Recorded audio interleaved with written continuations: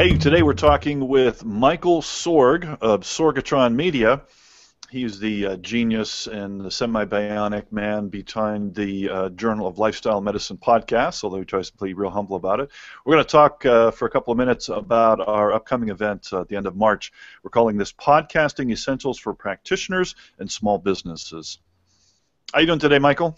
Excellent, excellent. Getting uh, gearing up for my podcast day. Actually, you're you're Yeah. the one of many, many, many recordings that we have every Tuesday here. Yeah, how many how many podcasts do you actually do on Tuesday? Oh, geez. Uh, Tuesday night we record uh, about five of them, and then we also have uh, every morning I do three kind of little bitty ones for uh, different topics, uh, at least four days a week. Uh, we do one for Sinclair. Then there's a whole bunch that we do as hangouts uh, that myself and a bunch of my friends do uh, as part of the network, uh, just like we're doing this one here actually.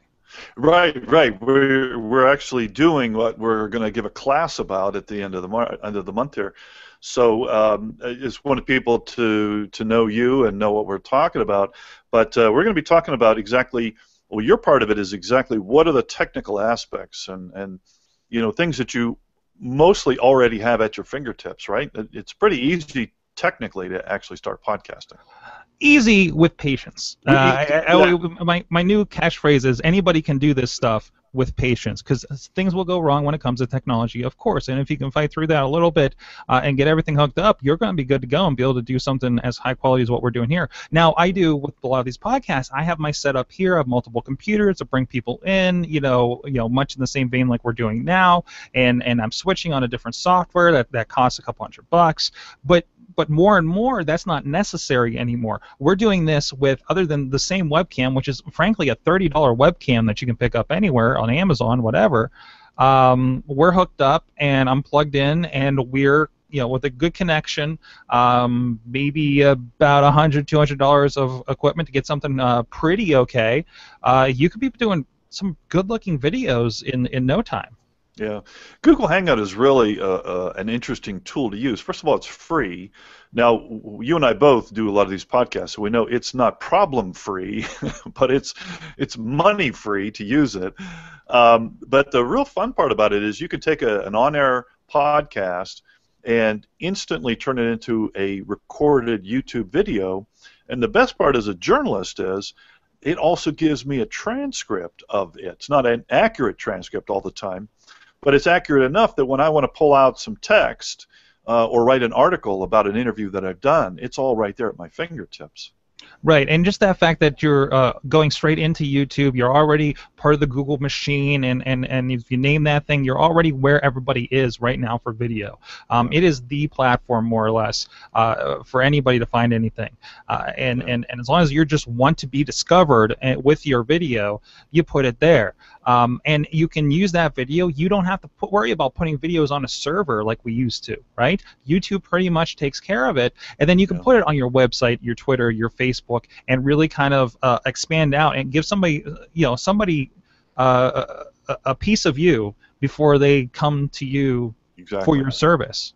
Exactly, and that's and that's what I'll, I'll be talking about is how to use this content. Once we record, you know, it's great. The technical side is fairly easy, a little patience and a couple hundred bucks. But what do we talk about that actually is going to work in marketing? And so Exactly. what we've got, uh, what we're doing right here is to create a conversation about an event that we're going to have, generate some interest. We're going to put this video out on YouTube. We're going to email it out to our customers and clients. Uh, our whole, uh, you know, our whole webosphere will be abuzz with this new video, and uh, that will generate the kind of clients that we want because people that are interested in it will share it on Facebook with other people who might be interested in it, and that's really the way marketing is done today. And that's that. I think you talk a little bit about that. That's it's such a big shift in the dynamics of advertising.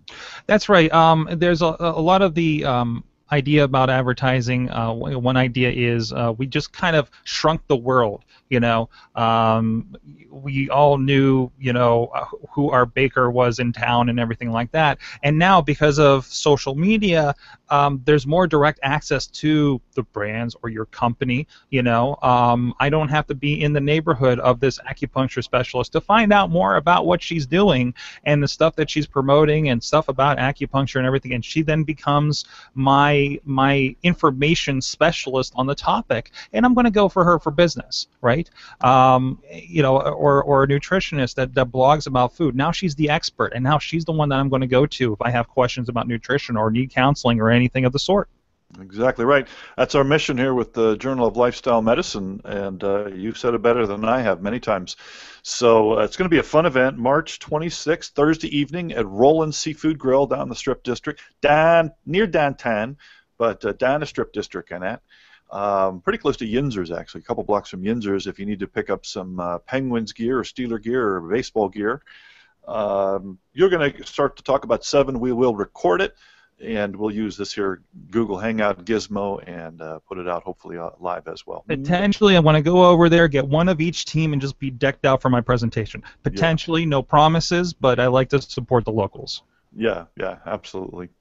Okay, very good, sir. Uh, we will see you then. Thanks for talking with us today.